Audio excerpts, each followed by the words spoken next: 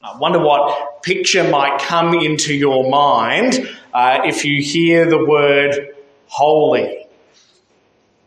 And You think of a, a monk uh, sheltered away in a monastery somewhere doing holy things like copying the Bible.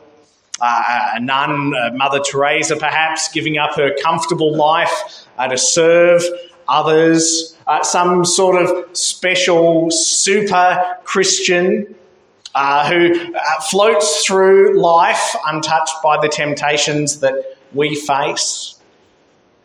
Uh, when you hear the word holy, maybe you imagine a list of rules uh, and restrictions. Don't do that. Don't go there. If you do, you'll never really be clean again. Uh, does the word holy suggest some kind of a burden that is hard to bear? If we think of holiness, uh, do we think, oh, it's the opposite of grace? Holy is not gospel. Holy means insensitive, impractical, uh, a burden. Uh, would it be good for someone to describe you or me as a holy person? Well, Jesus says that it is. Uh, here in uh, this letter to the church in Thyatira, holiness is the thing he's looking for. Uh, and he calls them to be holy because they are his. And we see the same message to us in lots of other places in the Bible. Think of 1 Peter chapter 1, uh, where we're told that uh, we are to be holy because God is holy uh, because He's the one who's called us uh, to follow Him. Uh, to be holy means to say no to what God is not, and yes to being like God is. Uh, to put it in a sentence, to be holy is to be like Jesus, uh, not a, a list of burdensome restrictions but a description of a whole and full and good life, the life that Jesus has lived. Uh, Jesus tells us in Matthew chapter 11 that he's come uh, not to lay a heavy burden on us, but he says, My yoke is easy and my burden is light. Uh, and so, my uh, aim today, uh, as we come to these verses in uh, Revelation chapter 2 is that we would see how to grow useful and holy in Jesus. And that's our little summary uh, sentence for today. You might like to say it to help it to, to stick. Grow useful and holy in Jesus. Come with me as we see these ideas of usefulness and of holiness uh, that are ours in, in Jesus. First of all, uh, we see Jesus uh, is writing to a church that is better than it was at first uh, in verses 18 and 19. Uh, he says to the angel of the church in Thyatira, write, These are the words of the Son of God, whose eyes are like blazing fire and whose feet are like burnished bronze.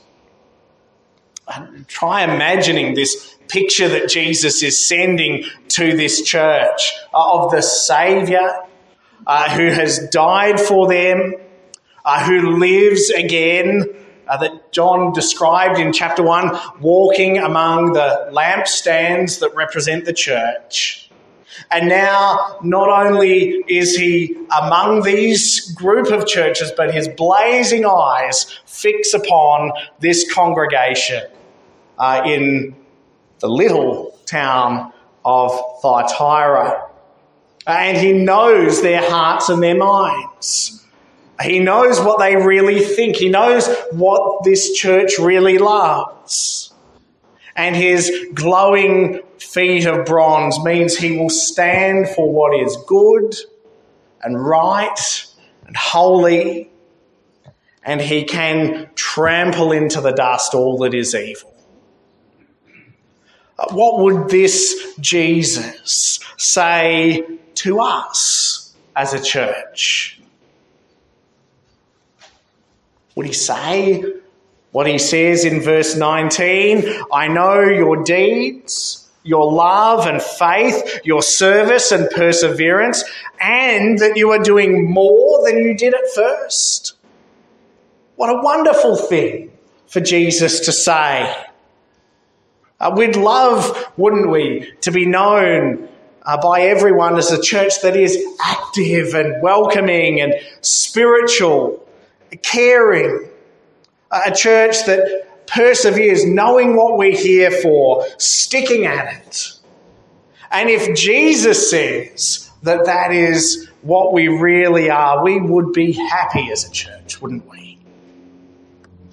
It takes effort, endurance, uh, hard work, uh, love always costs because it's sacrificial. Uh, exercising faith means living when we don't always see what we're aiming for. Serving, well, that always humbles us. Persevering takes strength and purpose and motivation. And Jesus comes and says, Church, you're doing all this. And in fact, doing more than you did it at first. You look at the end of verse 19. Uh, when, uh, I don't know about you, but when uh, I get interested in something new, I've got a lot of interested enthusiasm in it. Uh, but these believers, they don't slacken off as the years go by. Uh, they don't just keep up the pace of when they were new Christians. Uh, they build more and more. As time goes past, they're, they're doing more than they did at first.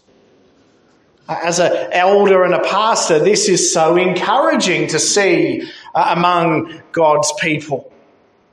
When we realize that to be a Christian doesn't just mean we will be served by the church, but that we serve as part of the church. That we don't just come to have interesting messages and engaging Bible studies served up to us, but that our pastors and teachers are here to equip us to serve, to do the work God has saved us to do. It's so encouraging to see that amongst you and in, in so many of you. And I wonder how we would feel then if, if these words in verse 19 were addressed to us. If Jesus said to the angel of the church in Benalla, Write, I know your deeds, your love, your faith, your service, and perseverance. I know you're doing more than you did at first.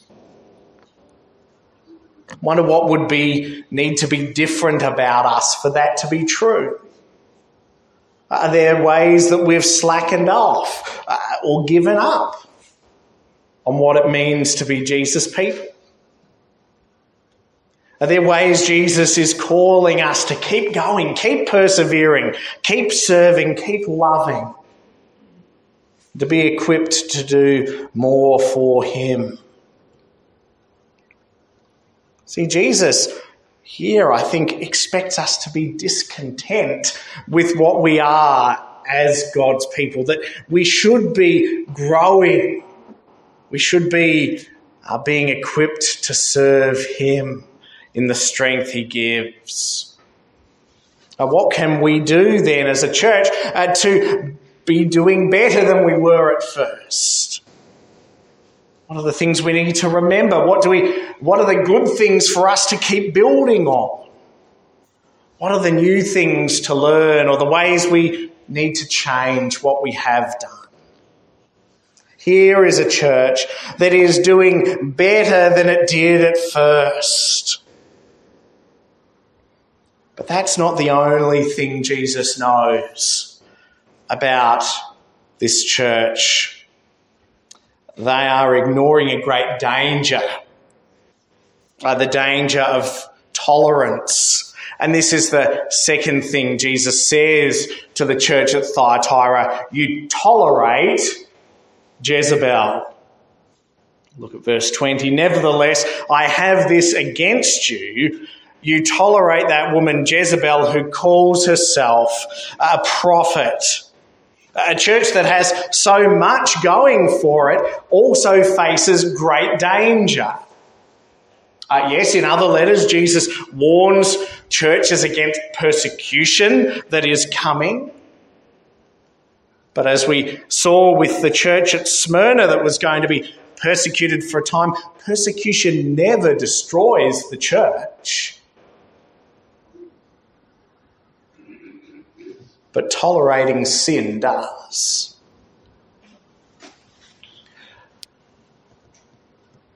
We need to be clear, don't we? It's not a sin to tolerate differences. We are all different. Uh, it's not a sin to have different personalities, to have differences of opinion in the church, different ways that we do things. That's not what Jesus is addressing here.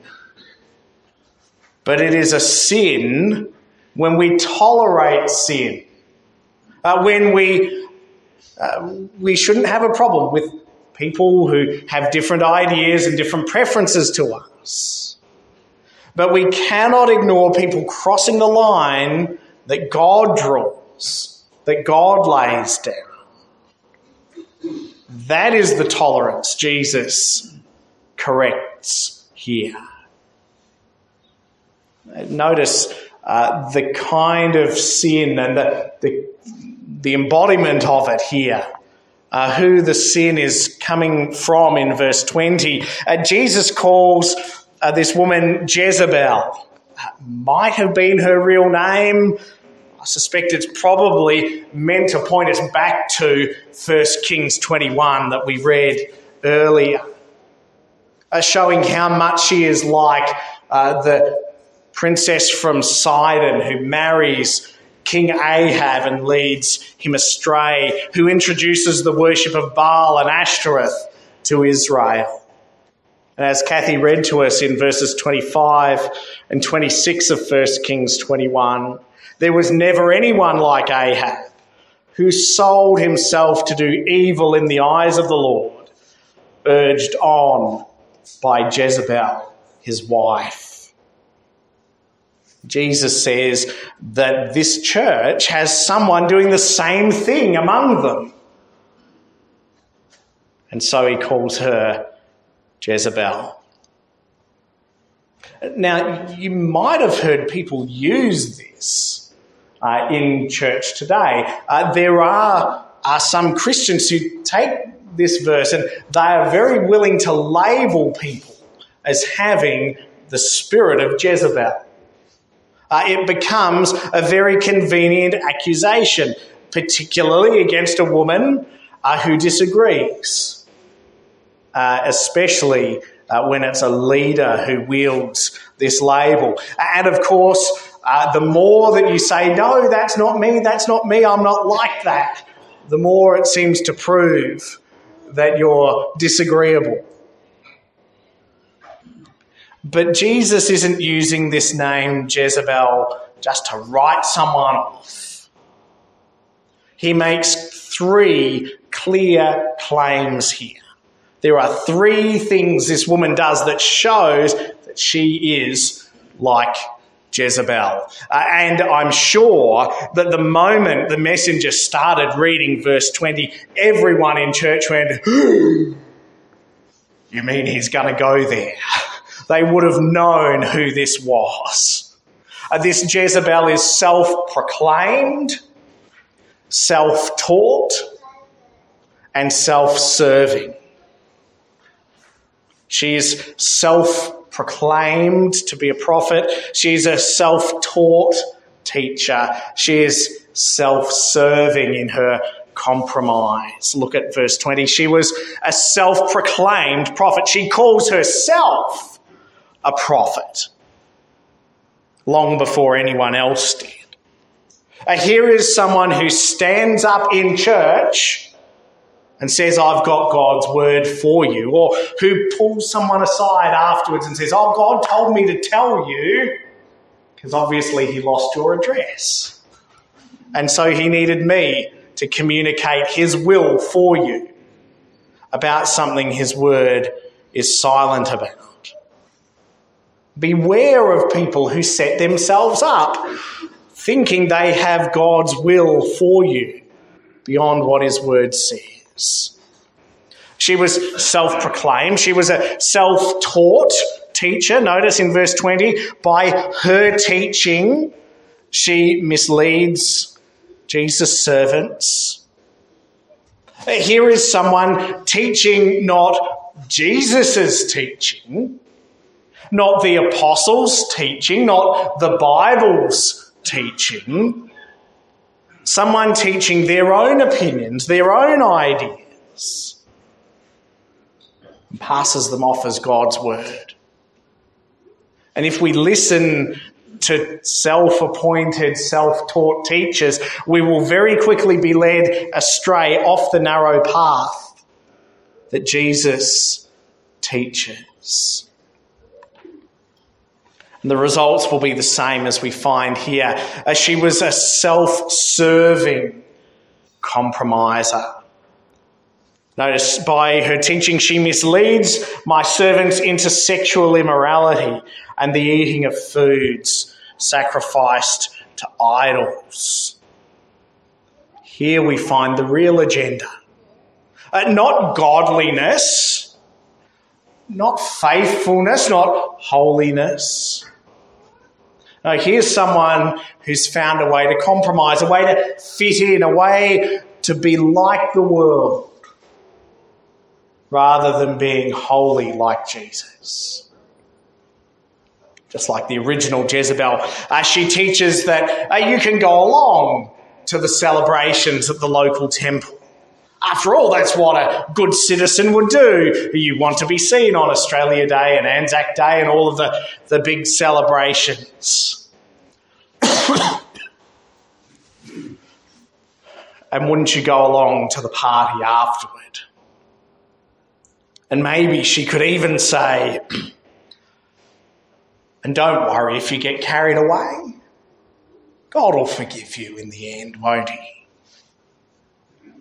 See, worshipping idols and unrestricted sexuality often go together. It was true then, it's true now.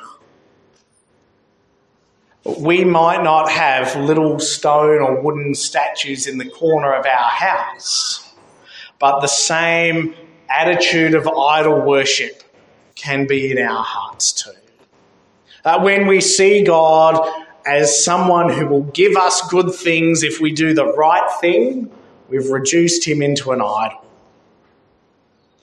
And it'll be very easy to think, well, he only sees the bits of life I want him to see. I'll come and present something good when I'm ready and pull the lever and good things will come. But what I don't want to see, I'll hide. And we hear the same voice, the same Jezebel voice today, don't we? Oh, what do you mean you're not coming along? Do you think you're better than us? Oh, go on. You can fit in. Maybe they'll want to follow you sometime. But Jesus says that this is immorality. This is living outside of the lines that God has drawn for our good. Living how we want, not how God calls us. And Jesus says this is a problem for the church. Jesus hasn't just sent this letter, oh, by the way, John, while the messenger goes past Thyatira, drop this in Jezebel's letterbox. Notice what he says in verse 21 I have this against you as a church, that you tolerate this. That's why he names names, because this sin spreads. And in this open letter, he calls the whole church to deal with this sin. Now, we would not dare to accuse Jesus of doing the wrong thing, would we? Oh, our church is too loving to do that. Think how the poor lady would have felt. How embarrassing. But here in the unchanging Word of God, from nearly 2,000 years ago, Jesus exposes the sin that was undermining and infecting his church. They had failed to act, and so Jesus steps in. Her sisters and brothers had not taken her aside privately. The elders had not called her to repent. And so Jesus does. Notice in verse 21, this isn't even the first time. Jesus says, I have given her time to repent of her immorality, but she is unwilling.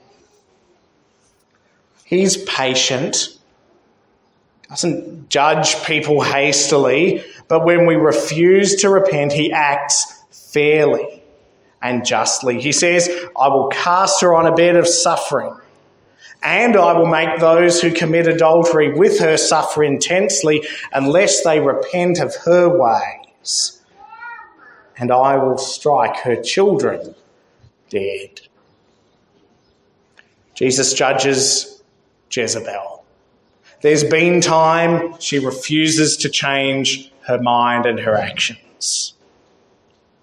How we should pray, friends, that we will not be so entangled by sin,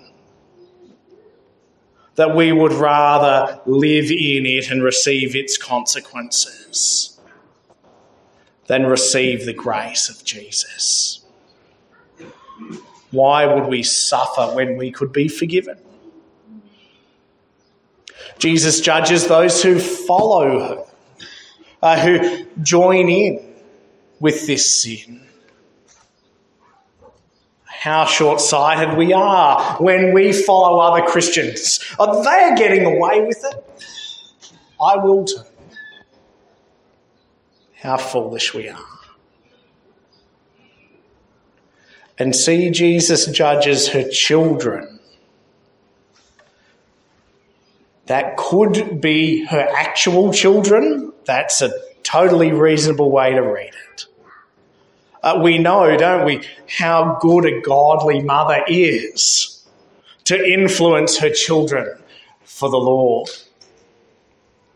And the same is true the opposite way. An ungodly woman can do so much damage, leading her children astray, poisoning their minds, distorting their consciences, encouraging them when they do the wrong thing, just as an ungodly father can do.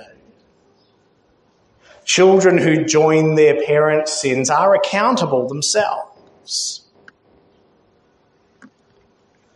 Or could be an echo of what we read in 1 Kings 21 21 that God was going to wipe out all of Ahab's family from the people of Israel to make sure there would be no successors to Jezebel, that her influence would end with her.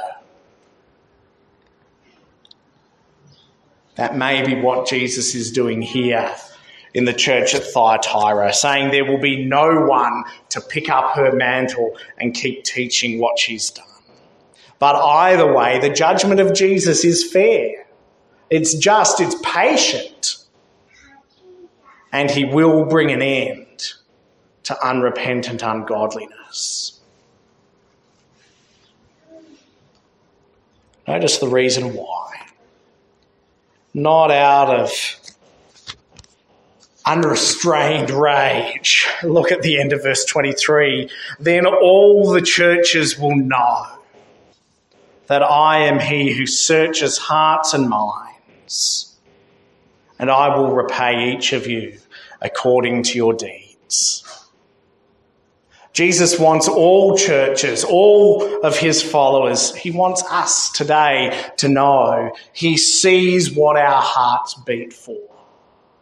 He knows what our minds are full of, what they go back to all the time.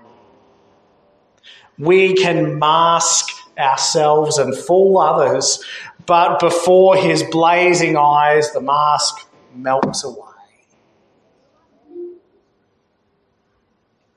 And he repays according to what we do. And this doesn't mean a Christian can become unsaved. But our reward matches up with the usefulness of our life here on earth. Friends, Jesus' blazing eyes see our hearts, that he knows our minds. Are our hearts committed to being holy for him? Or are we just trying not to get caught? What will it look like for us then? Uh, if we are to live for Jesus, if we're to turn away from tolerating sin, what will it look like if we fight what is wrong, what is false, what is evil? Well, in verses 24 to 29, Jesus says, hold on to him. Now I say to the rest of you in Thyatira, who to you who do not hold to her teaching and have not learned Satan's so-called deep secrets. I will not impose any other burden on you except to hold on to what you have until I come. Jesus gives us a little sample of this Jezebel's teaching here. She's offering deep secrets, something more. But they're not God's secrets, they're Satan's. Paul writes in 1 Timothy chapter 4 about people abandoning the faith to follow deceiving spirits, things that are actually taught by demons. And notice the lure that is attached to this false teaching. Uh, it draws many Christians away. Uh, the thought that there is something more than the gospel. There is something more spiritual for us to discover, something deeper, something that the rest of the of most of the other Christians just don't understand some second blessing from the Holy Spirit, some higher experience of God's pleasure and presence. And maybe we might think to ourselves, well, just keep on hearing that same old simple message that Jesus has died for our sins, and when we trust Him, we're forgiven and we live forever. And after a few decades, it gets a bit boring, doesn't it? Shouldn't there be more? Or we say, well, I've been a Christian a while, but I want to find something more spiritual, something more challenging. Isn't there more? Uh, all, yeah, of course, new believers, they need the gospel, but I'm into, into all this high tech doctrine. I'm, I'm so interested in church history and apologetics and philosophy. I'm into church history and philosophy and doctrine and apologetics. They're good things, but we never move beyond the gospel. We never move beyond the good news that Jesus is what we need. And we need to be reminded every day of that. Uh, we need each other to remind us at church that Jesus is what we need this week. We need to remind each other as we open the Bible, as we pray, as we go into the day, today, what I need is Jesus. It's His grace that saves us and that makes us holy, as we saw in Titus chapter 2. 11 to 14. It's His grace that saves us, that helps us to live for Him. It's His grace that rescues us, that presses us on towards the goal with endurance, so that we fix our eyes on the one who began and who finishes our faith. Not something deeper, something hidden from all the other regular Christians. That he gave himself for us. That's what we hold on to. That's what the people at Thyatira already have. And what Jesus says they are to hold on to until he comes. And see the blessings that come from that. He says he'll give authority over the nations and he'll give the morning star. Uh, he quotes from Psalm chapter 2, a prophecy about Jesus exercising authority over the world, shattering with a rod of iron all who will not bow before him. And here Jesus says, when you bow before him, you will share his authority over the world, just like Adam and Eve did in the garden. Brothers and sisters, that is the authority he sends us in to make disciples, to go to the nations and call them to bow their knee and confess with their mouth, Jesus is Lord. And he promises us with that the morning star. Uh, friends of ours have on the wall in their house a, a map of the sky with a, a star that has been marked on it, named for one of their children. Uh, this star, the, the morning star, is named in, in Jesus' day and in our day after a god, after Venus, uh, the god of victory. And Jesus says, No, I give you that star. I give you the God who is victorious. I give you the one who has conquered every enemy. In Numbers 24:17, there's a prophecy of a coming king and savior who is a rising star. This is Jesus himself, promising he will give us his victory. He will give us himself. And so, as verse 29 says, if your, your ears aren't painted on today, hear his promises. You can do more than you did at first. You can say no, even when sin is in the church, and he will give you himself. Hold on to Jesus because He is all that you need. There's a lot here in this letter to the church at Thyatira that confronts them and that confronts us. But ultimately, we don't need something deeper. We don't need something more. We need Jesus in the gospel to hold on to Him that's how we'll grow useful in His service. That's how we'll grow holy in living for Him. As we hold on to what we already have until Jesus comes. Well, let me pray for us so we would know His help to do that. Let's pray. Together. Our wonderful Lord and Saviour Jesus. Uh, every knee will bow before you one day.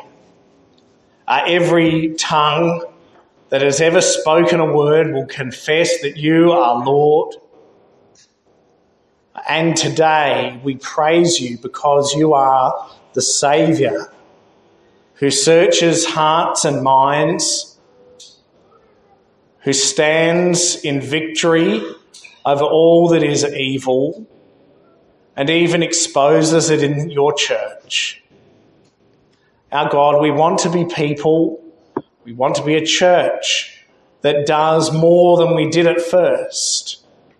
We want to be useful for you. And here you say in the end, Well done, good and faithful servant, enter into your rest. So help us to call for repentance where that's necessary among your people, lovingly, just as we would want it to be done to us. Uh, help us not to try and move on beyond your good news, but to hold on to Jesus, to hold on to your grace, to know that if we uh, have come to your cross in repentance and faith, we're forgiven. And that all else that you call us to do and to be flows out of that grace that already saves us. So we pray that we would treasure the gifts you give and the rewards, like the morning star, ultimately showing that you have won the victory for us and give us yourself. So we pray in your wonderful and saving name, Lord Jesus. Amen.